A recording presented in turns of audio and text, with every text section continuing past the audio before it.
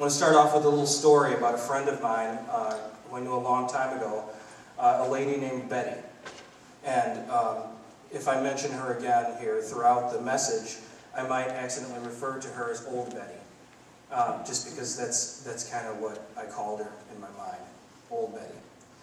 Now, Betty and I worked together during a time in my life when I was uh, the U.S. bond options desk manager at a clearing firm for the Board of Trade. And my job was to uh, receive orders from customers, and if, um, let's say I'm here at my desk and the soundboard back there is the pit, um, I would flash in the order to the market, uh, I, I would flash in the order to the broker, I would sell 25 at the market, and then that would, and then that order would be filled with brokers uh, meeting with each other. Now, if they weren't in my sight line, I had to send out a runner to place the paper order. And Betty Old Betty was the runner. And Betty was a little old lady with granny glasses and a um, you know, frizzy little perm, and she would grab the order and, you know, in this midst of a thousand people uh, cussing and placing orders and things, high stakes at the Board of Trade. Little Betty would come, you know, tiptoeing through there out to the broker and, and place the order.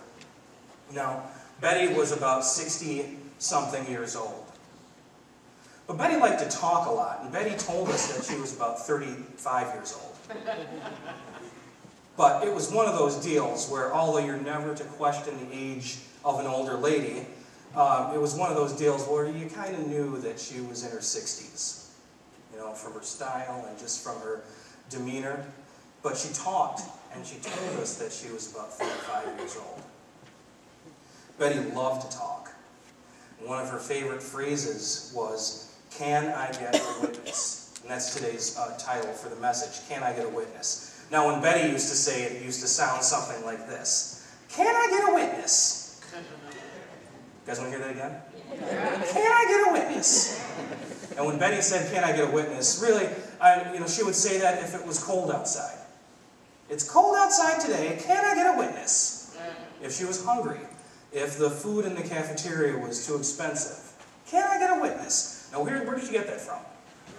She got the phrase, can I get a witness, because Betty was a church-going lady, and in some African-American congregations, what people do when they stand up to give a testimony, when they stand up to give a spiritual insight, is they will say, can I get a witness, as a way of getting support from the congregation.